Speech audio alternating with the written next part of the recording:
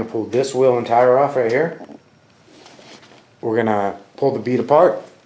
We're gonna put some of that stuff in it and we're gonna see what it does.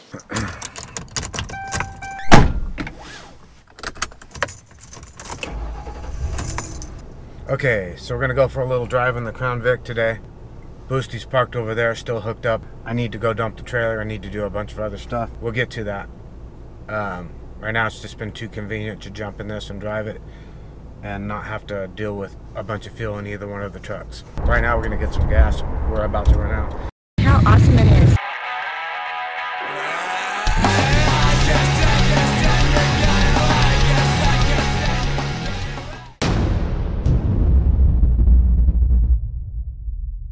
We're in the Pep Boy inner liner sealer. We're at the AutoZone. But look, we have this. 20 bucks towards off-roading. It's rubber, basically. Like I said, we're taking a quick little ride. What we're doing today, hold on. I gotta get this stupid bag. This bag's driving me nuts. So what we're doing today, we're getting ready for our trip. Um, another trip. New Year's, Glamis. Um, and to be ready for that trip, we need the sand tires on the car. But uh, in doing that, we're going to be pulling the dirt tires off. The dirt tires need some work. So basically, uh, what's happening is the the bead locks appear appear to be leaking. I think it's the bead locks. Two of the four wheels and tires keep going flat. They've been going flat since the day they were new. At least one of them. Uh, probably the very first, second trip we were on. Um, I came out of the trailer in Pismo, and I could see bubbles coming out of the uh, bead, out of the bead lock.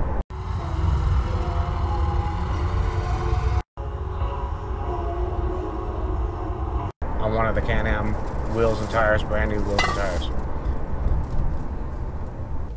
Okay. So did you hear that little clunk where I kind of put my head down in absolute frustration because of the bottle that clunks back there, the stuff that's rolling around. So I've just pulled over. That's all dealt with. I'll tough, and I'll blow your house in. I'm sure you understand. Driving along, stuff's clunking around, rolling around, making noise. Here's Johnny. Anyway, we're starting prep already uh, for Glamis. But we need to dump the trailer, so we need a drive boosty, dump the trailer. Probably need to add some propane. So, the dirt tires. We've been fighting that issue with them leaking. I think it's coming from the bead locks. The thing about that is, I'll be pulling them off and setting them aside, and I'll forget about it, and I won't address the issue. And then the next time I go to uh, use it again, or the next time I go to use the dirt tires again and put them on, I'll be frustrated because they'll be flat again, and I'll air them up. We'll go for a ride. I'll air them up. We'll go for a ride. That kind of thing. I want. I don't want to keep doing that, so I'm going to go ahead and deal with that issue now. I'm driving right now to get some bead seal, extra, extra seal bead sealer. I think is what it's called. O'Reilly's and AutoZone both list that they carry it, but of course none of the ones uh, in the area that I live in carry them. So I'm driving. I don't know. 20 mile round trip to go get some bead seal so I can fix these tires. We stopped the clunking. We got gas. We have the cameras working. We're headed to get some bead sealer. We're gonna fix these things today. I went out to the car to leave at 8 o'clock this morning. It's now 9 o'clock this morning. Uh, and then I wanted to set this camera up so I didn't have to hold it. I wanted to make sure I had good audio, uh, you know, good video and audio for us. This is not, uh, we're not a cinematic production company. We're just trying to capture the content, interesting content about the off-road uh, lifestyle. You know, sand rails, dune buggies, side-by-sides, all that good stuff. Um, and you know, the stuff gets expensive. Um, it's the only, like I said, it's the only thing we really do. So that's where all of our extra money goes to off-roading. You know, and it's and it's a lot for it's a lot more than just the off-roading for us. So the camping is a huge part of it, which of course you know that uh, eats into the budget as well because you need a place to camp. All of our trips are, you know, minimum a weekend. If if we go riding, we're gone for the weekend. We're not we don't ride for you know head off in the morning and come back. Except for maybe a couple times a year. So that means we have budget for camping, budget for a tow vehicle, and then budget for the off-roading itself. You know, there's all different categories of of the people of off-roaders that we ride with. Uh, some of them, uh, you know, ride a couple times a year. Some of them ride four or five times a year. Uh, we are at the extreme end of that, where we ride as as often as we possibly can make it. So we get we you know we get some comments comments like you know you should do this to your car, you should do that to your car, and trust me, there's a bunch of things. Evolution power sports products mts products all these different products all the things that we'd like to do to our car. But uh, the way we approach our budget is would we rather stay home from a trip for, for example uh, new year's we will be going to Glamis for New Year's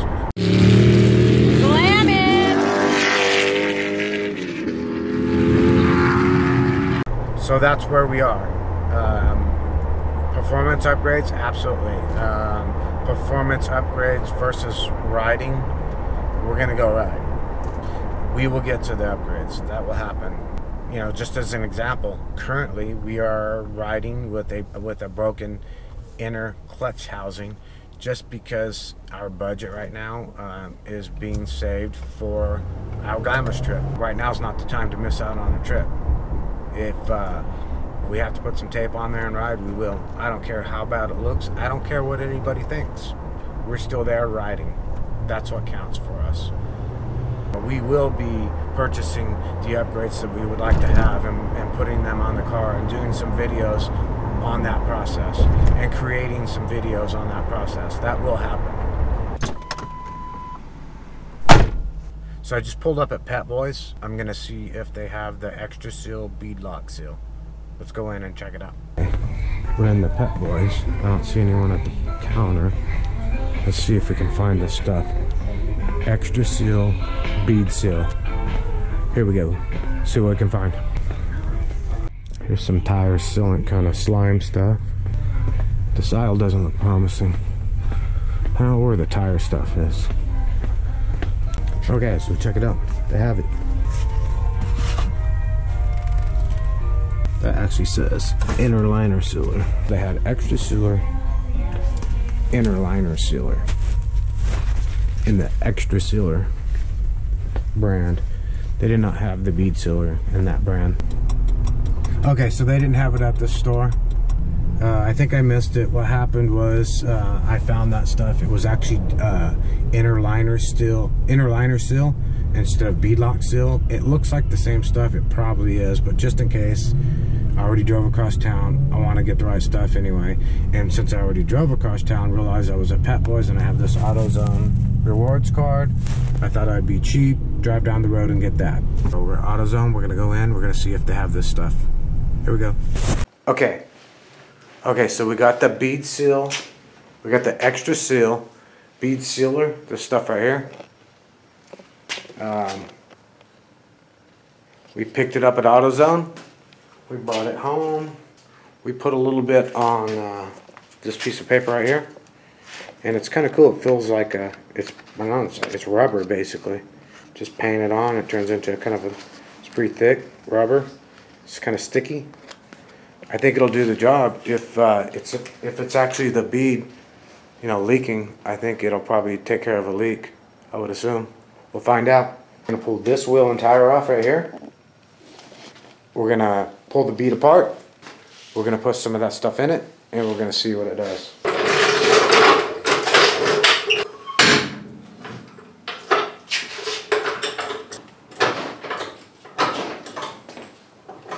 I think that's probably high enough. We're gonna use this handy dandy device right here.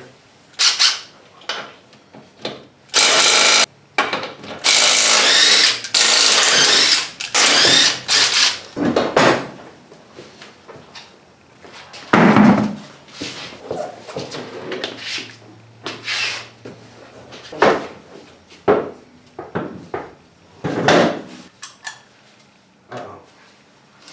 We got a different, this is an impact socket. Super thick wall, and it doesn't fit inside here. So we gotta grab a different socket.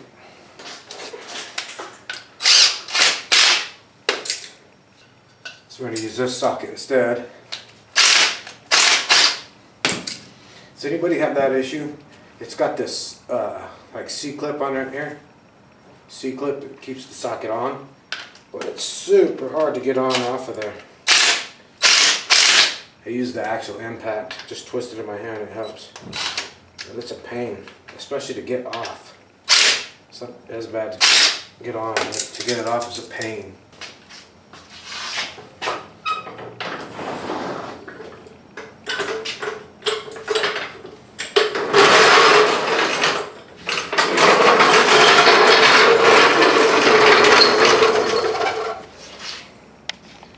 Okay, we're gonna grab an impact.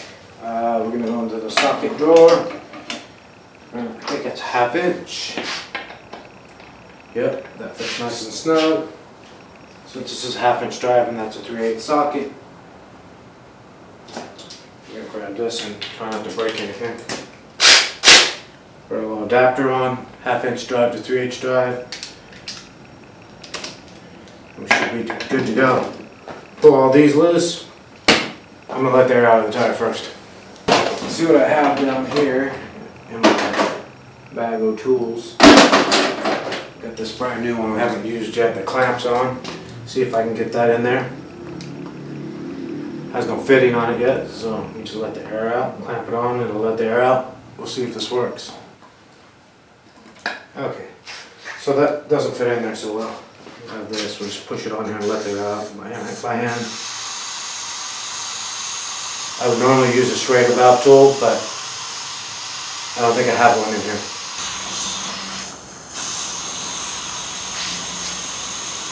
There we go. Let's pull this B-lock off and see what we got.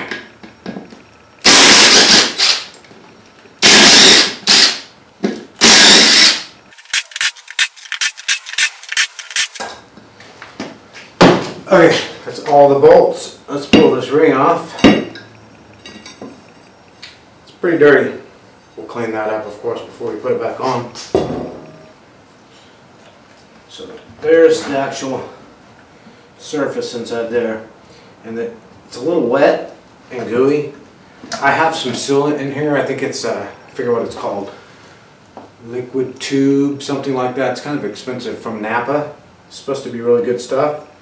But uh, just didn't hold up to these beads. I don't know what the deal is.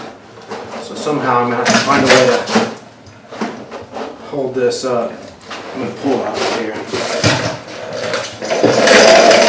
You lay it on the ground, maybe, yeah. But on the ground, the weight of the the weight of the rim separates it from the actual bead. Now I can get in there and get this clean and dry. Here we go. I zoomed in on it so we can see, if possible. I'm gonna dry this. I'm gonna dry this edge off right here the best I can, of the tire, off of it.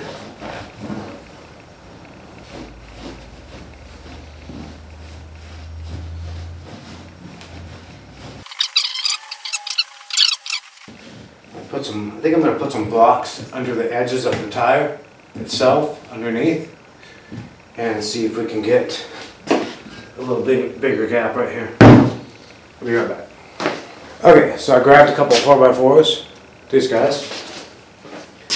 I'm gonna put them under the bottom edge of this tire. And push it down in there. Like that. Yeah. That definitely helps.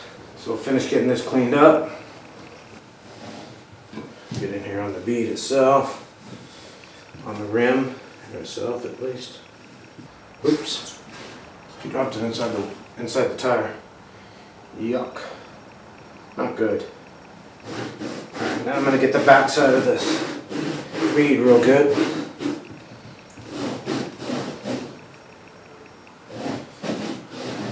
Okay. It's pretty much dry already, but uh, I went ahead and grabbed this guy. I want to put a little bit of heat to it and get it good and dry.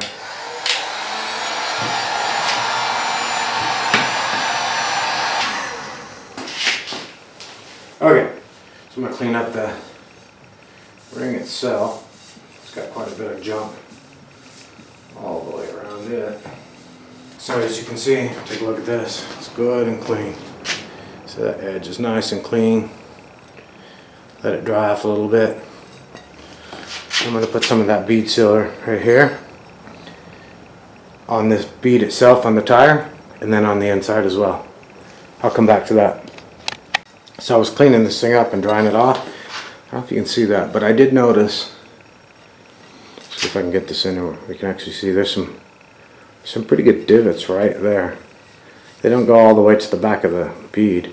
But I don't know what surface, if it's this surface and the back surface that seals, I'm not sure. But there are some pretty good divots right there.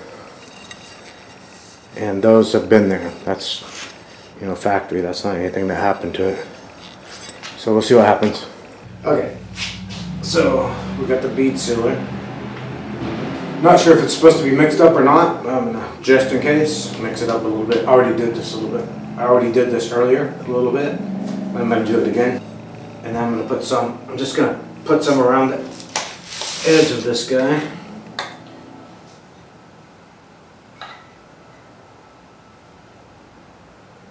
This stuff is messy.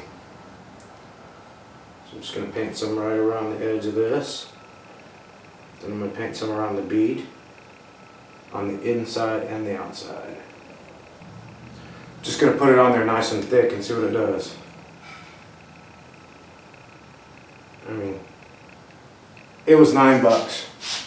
So if it works, awesome. If it doesn't, not the end of the world. And I used my AutoZone, AutoZone rewards points to buy the stuff, so there you go.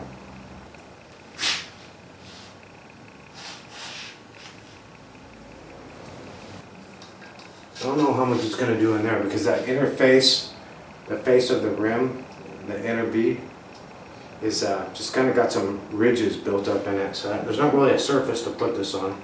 But I'm gonna get some up under there on the on the tire for sure.